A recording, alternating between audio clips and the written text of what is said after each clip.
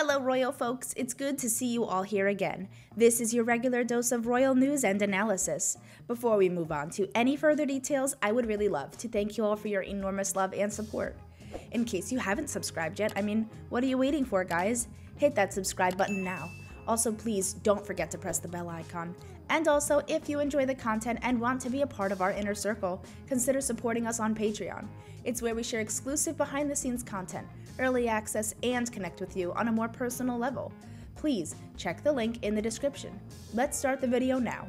Prince Harry and Meghan Markle find themselves in a lose lose situation, according to Cameron Walker, GB News royal correspondent.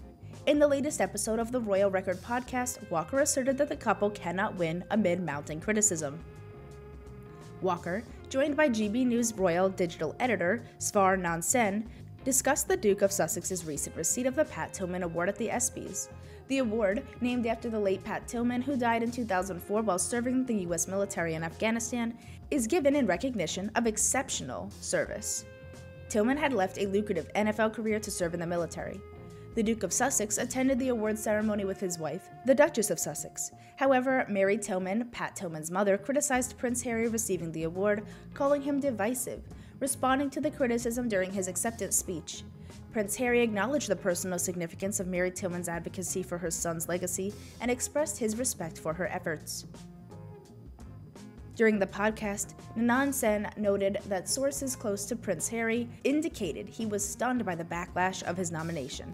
He highlighted Prince Harry's decision to address Mary Tillman in his speech, emphasizing his respect for her family's efforts and stating that he accepted the award not as a royal, but as a representative of the Invictus Games Foundation. Nanan said he also said he was accepting the award not as Prince Harry, but as a representative of the Invictus Games Foundation. So I think that's where his head is at, that the Invictus Games are bigger than him in terms of their impact on the military community. Walker responded by reiterating the challenges faced by Prince Harry and Meghan Markle. Yes, to be honest, it's a lose lose situation for Harry at this point, he said. He's created a lot of enemies, or non fans, because of what's happened over the last four years. Whatever he does, no matter how good he's doing at the Invictus Games or whatever prestigious awards he's winning, there's always going to be people at the moment who are going to chastise him for that and get very angry about that. Whatever he does or whatever Meghan does, they can't win. The couple, who stepped back from their roles as working royals, have spoken openly about their negative experiences within the royal family through various platforms, including Netflix documentaries, high profile interviews, and memoirs. Their candid revelations have strained their relationships with other members of the royal family, including Prince William and Princess Kate. Once referred to as the Fab Four, the two couples are reportedly not on speaking terms.